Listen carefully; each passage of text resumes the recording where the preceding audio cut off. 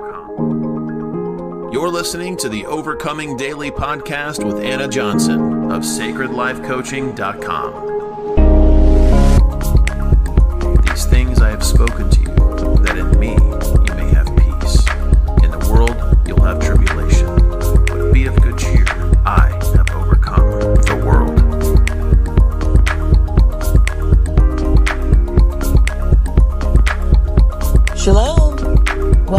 episode 36 of Overcoming Daily with Anna Johnson. My name is Anna Johnson, and I am your Overcomer Coach. Today's Overcomer tidbit is this. The Overcomer goes where God has called them. This morning, in my quiet time alone with the Father, I was reminded of all the places that He has called me to go. And He has called me to a lot of places. A matter of fact, I was called to go from Illinois to North Carolina, then from North Carolina to West Texas, and then from West Texas to East Texas. Now, each one of these callings are quite a long distance stretch, meaning as far as location and drive. A matter of fact, just the drive from West Texas to East Texas took me over six hours to get there. But He's not only called me to go places physically, like from state to state or from one location to another, but he's also called me to go places spiritually. I do believe that we are all called to go and do something. Matter of fact, we're all called to follow Messiah, to go the places that God has called us to go. So this is not something just specifically for Anna Johnson, but this is something for all of the children of God. And a matter of fact, it is a call for all of humanity to return to God and to do the things that he has called them to do.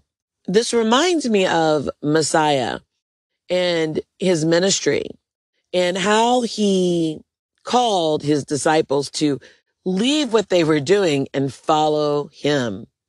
Now that's quite a stretch. That is quite a stretch.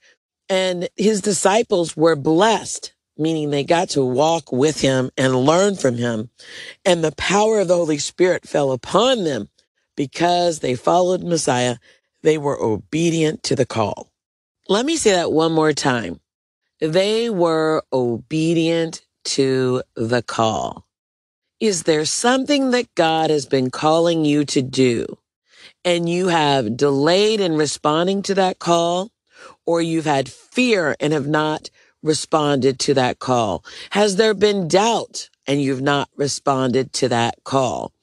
The call may be physical, but it is almost always spiritual because God is spirit. So is there something that God has been calling you to do? Now that calling may be a physical act or it could simply be a spiritual act or it could be both. For myself, what I've discovered is that often, almost always, the call is spiritual and physical. The two are connected. There are some basic callings. I mean, we all are called to put away sin. And some of us, unfortunately, have become too accustomed, too acquainted, too attached to our sin. Now that sin could be addiction. It could be a relationship. It could be a, um, a habit, which is addiction as well. It could be a mindset. Many of us are called to let go of some things that are actually hindering us from going places spiritually. And then there are those things that we are called to release and let go of mentally, emotionally, and spiritually so that we can do the work of God in our lives and in the lives of others. We may need to release unforgiveness, bitterness, resentment, fear, doubt, uh, jealousy, carnal things, carnal things. We may be called to release these things for the sake of the kingdom and for the call to follow God where he has called us to go. We are called to be the tool of God. Yet many of us don't want to be a tool. We want to be the operator of the tool. How can we ever expect to overcome if we do not allow ourselves to be the tool of God? That God would use us as an instrument for his glory. And in order to do that, we need faith. We need humility. We need to submit to whatever calling God has called us to do. Now, don't get me wrong. Responding to a calling is not easy. It's not always easy but it's still required. We see Messiah who was called to bear the sins of humanity and to overcome the power of sin and death. And it was not an easy task. And yet he responded to the call. And it's not enough just to go and respond to a call physically. Like we have to respond to the call spiritually as well. We look at Israel who responded to the call physically. They left Egypt in search of the promised land. And so they responded physically, like they went out of Egypt. They did what they, what was required. They were in the wilderness. Uh, however, spiritually, they were not there. And because they were not there, meaning their mindset, their interaction with God, their relationship with God, they were unable to physically go the distance and they died in that wilderness. Now, if God has called you to go somewhere, we just need to submit to him. We need to look to him. We need to obey him. We need to put away our own understanding. We need to release everything that goes against what he's calling us to do.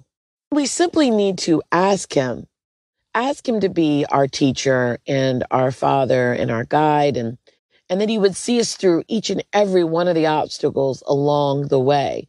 Even Messiah prayed in the garden that evening prior to his crucifixion.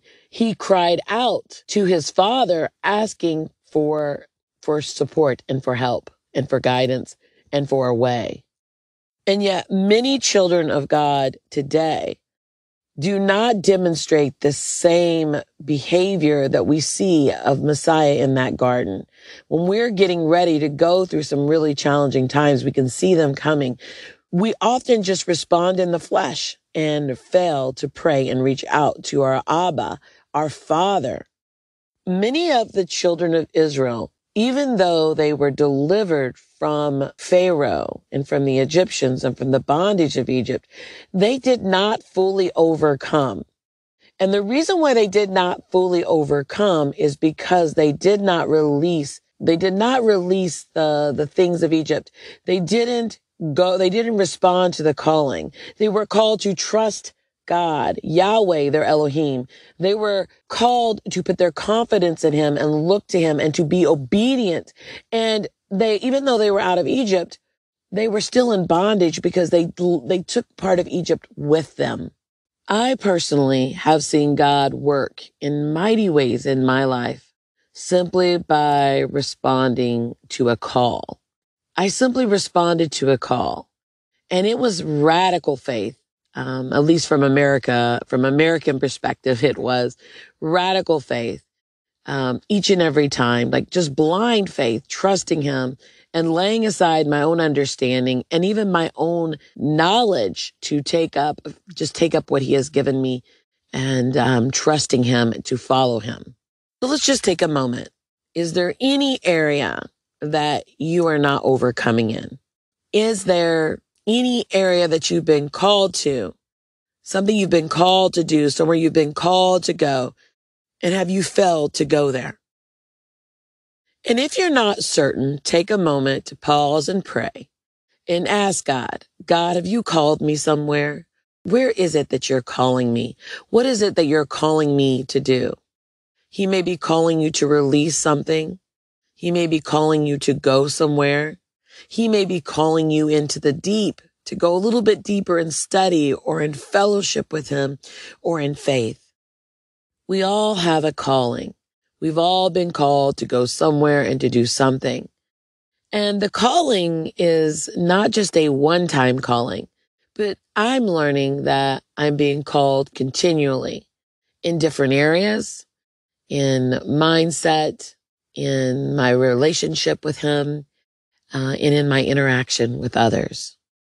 Today's focal point in scripture is Psalm chapter 81, verses 11 through 16. And it reads, But my people did not listen to my voice, and Israel would not submit to me. So I gave them over to their own stubborn heart to walk in their own counsels. Oh, if my people had listened to me, Israel would walk in my ways. I would subdue their enemies at once and turn my hand against their adversaries.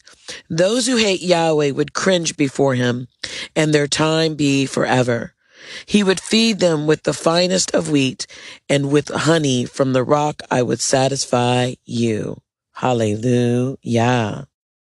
God desires that his people would listen to him that they would learn his ways, that they would not only learn, but walk in his ways. And he would cause our enemies, he would cause us to prevail over our enemies, that our enemies would not be able to consume us or overtake us.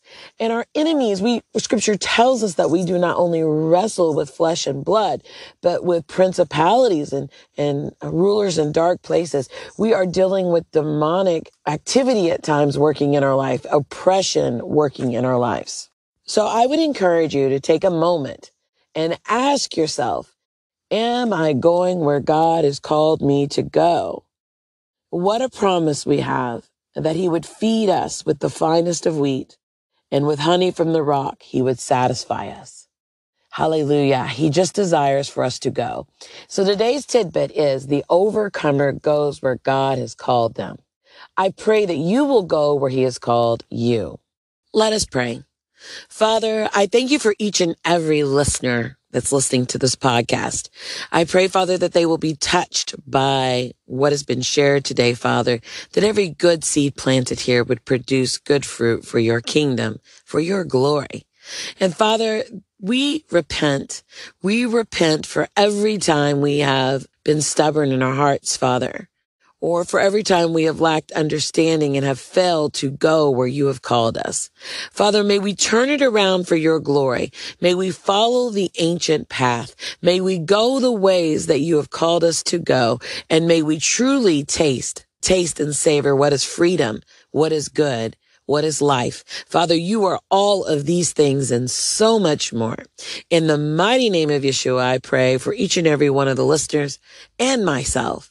To you be the glory. Hallelujah. This concludes our episode for today. I hope that you will go where God has called you to go. Until next time, have an overcomer day. I am praying and cheering for you. Shalom. Thanks for tuning in to another episode of Overcoming Daily with Anna Johnson. Tune in again next time where Anna will continue to give you tips for overcoming daily. Overcoming daily. And to stay updated, make sure to subscribe to the podcast. You are an overcomer. You're called to overcome. And if you found value in this episode, please share it on social. Share it on social.